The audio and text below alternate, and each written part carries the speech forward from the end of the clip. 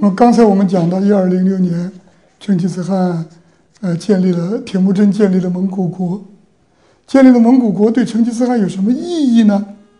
第一，就是他被所有的草原上的游牧民都呃呃公认为是全体游牧民的统治者，所以成吉思汗的称号就是这时候给他带上的，这是第一点。第二点呢，它控制了一个什么地域呢？它大体上刚才讲的地理范围，东面到今天我们东北的西部，啊，辽河的上游就是今天我们大兴安岭和辽河上游；北面越过了贝加尔湖，南面到今天内蒙大漠南北，西面到今天的新疆的北部阿尔泰山，啊，和这个呃。俄罗斯的西伯利亚的南部地区，哈萨克斯坦和蒙古交界的地方，这样一个地域。那么这样一个地域，意味着什么呢？意味着蒙游牧民族的武力全部处于他的控制之下。游牧民族在我们中国历史上比较重要的游牧帝国有两个，大家可以知道，第一个就是匈奴，曾经给两汉造成多大的威胁啊！那么第二个就是突厥汗国，所以成吉思汗就建立就得到了这样一个基础，这个基础可以说是游牧帝国的摇篮，给他得到了。游牧帝国的摇篮，它最重要的因素是什么呢？就是马，马匹。那么今天我们在电影上看到啊，呃，有这个很多人骑的这个呃马匹。游牧蒙古草原上的马，从品种上，我们叫做蒙古马，头比较大，身躯比较矮，和我们今天电影上那些英雄骑的马是不一样的。那么这样的马呢，有个很重要的特点，第一个是适应能力强，它能在很恶劣的条件下生存，不要很好的饲料，有非常好的耐力，能奔跑很长的时间，虽然跑的不是很快。能奔跑很长的时间，那么这个马匹对于我们定居民族汉地，我们是步战，它就是一个非常重要的机机动工具。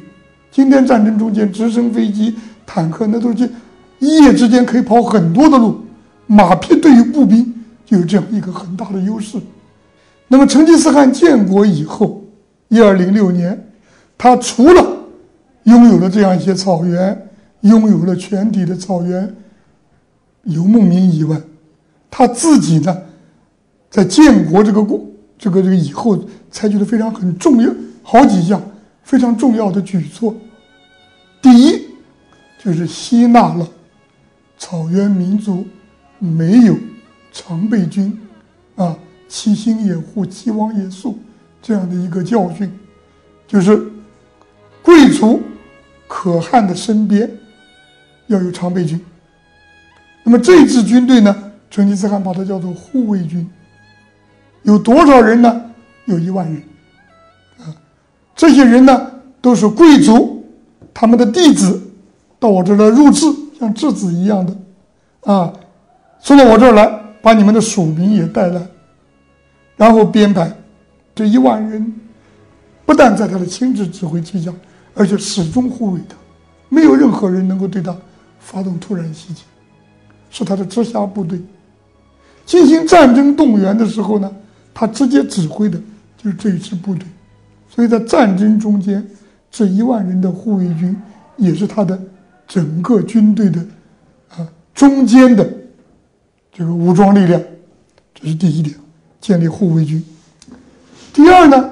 成吉思汗把所有的草原的游牧民组编成了九十五个千户。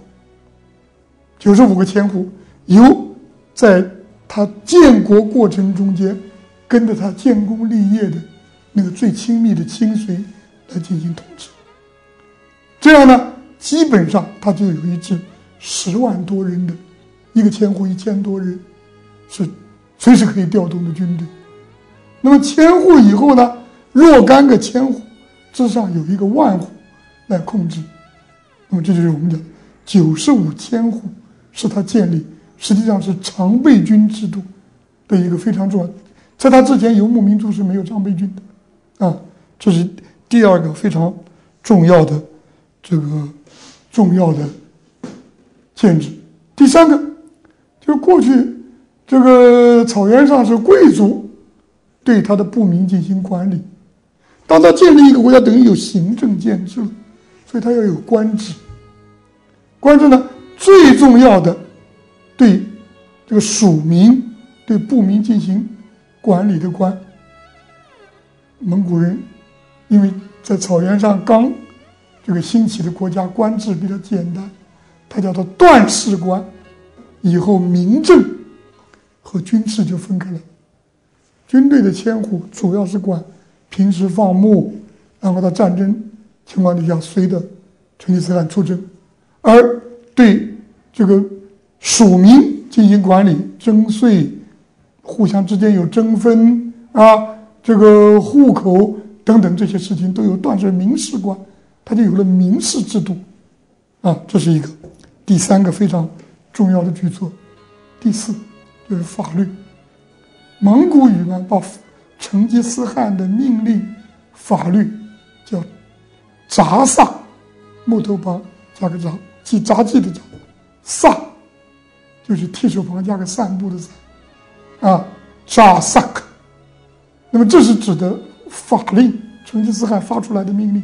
那么成吉思汗的札萨后来在后代在成吉思汗的儿子继承皇位以后，编过一部书叫《大札萨》，这部书今天已经消亡，但是成吉思汗札萨的一些内容在元代的一些文献中间。保留了下来。最后一个很重要的举措，就创制蒙古文字。在成吉思汗以前，蒙古族是没有文字的。在打败了乃蛮人以后，乃蛮的有个高官在逃跑，怀里揣着一颗印，乃蛮的印在逃跑，被蒙古军队抓获了。这个人呢，是一个维吾尔人。成吉思汗问他。你跑什么？你带了个什么东西啊？这个乃蛮的高官名字叫塔塔统啊，维吾尔人就告诉成吉思汗说：“这个印啊，我们每次出纳钱粮，我们就要盖上这个印啊，以示威信。印很重要。”人家说很有道理。过去我们都是派一个使臣出去，都命令都是背下来的，那使臣随便改，是吧？皇帝下任何命令也没有任何记录。叫他留下来，留用了这个人，他就根据维吾尔文的字母用来拼写蒙古语，派皇子贵族来向他学习，所以蒙古文就是在成吉思汗时代以后创制出来的。那么这是最后一个比较重要的举措，所以我们最后做一个简单的概括：蒙古国的建立。那么成吉思汗不但拥有了这个一个一个从阿尔泰山一直到大兴安岭的草原地区，不但拥有了游牧民族的武力，另外他有了一个雏形的国家，这个国家有自己的法律，有自己的官制，啊，有自己的文字。那么这样呢，就使成吉思汗比他之前其他的在他之前的游牧民族有了一个更好的基础，建立一个更大的国家。有了一个更好的基础，嗯，那么我想讲的呢，大概就是这一点。那么就成吉思汗结束了草原上啊互相仇杀的历史，统一了蒙古高原。蒙古族这个民族就是从成吉思汗建国才开始出现的。在这之前，蒙古高原有很多部落，蒙古只是其中一个部落的名字。由于建立了蒙古部，各个部落都说我是蒙古人。是蒙古部的属民，所以都变成了蒙古族。下面呢，我们就要开始讲这个，呃，成吉思汗所发动的西征。在讲这个成吉思汗发动西征之前呢，那么我们先来看一下，就是在成吉思汗那个时代，嗯，蒙古西北的基本的形势是怎么样的？嗯，当时的蒙古高原。这个它的西南部，相当于我们今天的呃宁夏，呃这个甘肃的河西走廊和这个青海的北部地区，是党项人所建立的西夏。西夏再往西，今天新疆，呃维吾尔自治区天山的东部。天山东部的南路和北路，嗯，就是相当于今天以吐鲁番盆地为中心的地区。那么是从唐代从呃蒙古高原迁过来的回纥人，他们所建立的一个国家叫高昌回纥，或者叫西周回纥，或者叫维吾尔。那么再往西，就是这个。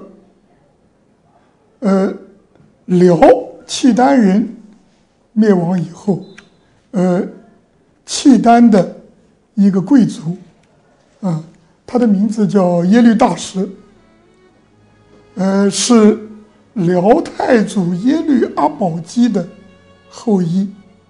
那么这个人呢，在辽王前夕，带着一部分契丹的残余力量，从。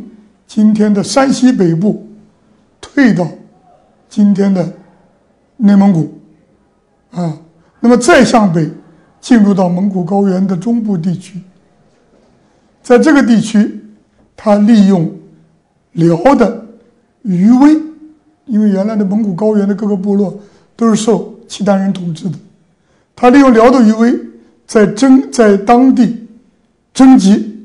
这个当地的游牧部落举行会议，啊，呃，宣誓要恢复这个辽。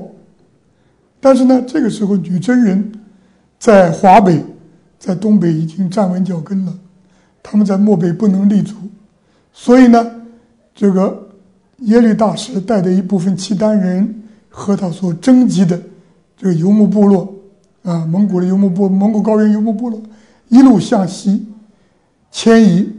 最后呢，在今天新疆的界外，它的中心在今天吉尔吉斯斯坦首都这个比什凯克附近有个地方啊，叫做呃裴罗将军城，唐代叫巴拉萨棍。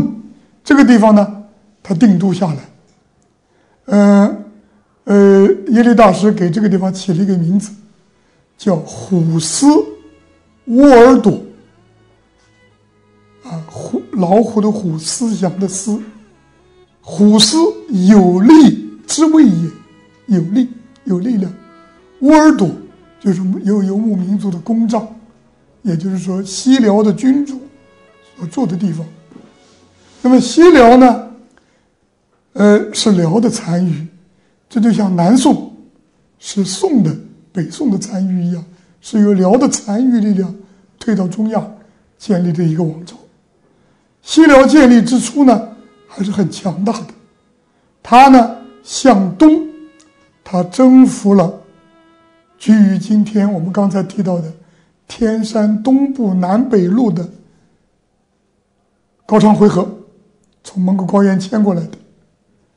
那么第二呢，蒙古高原的中部，包括克烈部，我们讲的王汉的那个克烈部、乃蛮部，都在。西辽的控制下，那么西辽的西面，当时是一个非常强大的一个王朝，一支突厥人，呃呃，一个突厥人建立的王朝，叫塞勒柱王朝 （Seljuk）。那么这个王朝呢，它的西面一直到小亚半岛，东面到中亚，西辽人把他们打败了，啊，所以西辽呢控制了今天。乌兹别克斯坦、塔吉克斯坦，这个嗯，大部分的土地，啊，再加上今天吉尔吉斯斯坦、哈萨克斯坦，中亚前苏联五国中间四个国家大部分的土地，向东一直到蒙古高原的中部，一直到我们今天新疆的几乎全境，都在西辽人的控制之下。这个。在西辽统治下，还有一个很重要的民族，这个民族呢，它的呃居住的地方在今天咸海，那也就是今天土库曼斯坦的北部、乌兹别克斯坦的北部、阿姆河的下游地区，这个国家叫花剌子模。花剌子模的人在古代是一种使用东部伊朗语的民族，和我们这个中古时代。粟特人使用和田语的居民比较接近，但是在成吉思汗兴起以前，嗯，花剌子模人已经基本上突厥化了。花剌子模也是西辽的属部，所以成吉思汗兴起的时代，啊，早期西辽是非常强盛的。那么。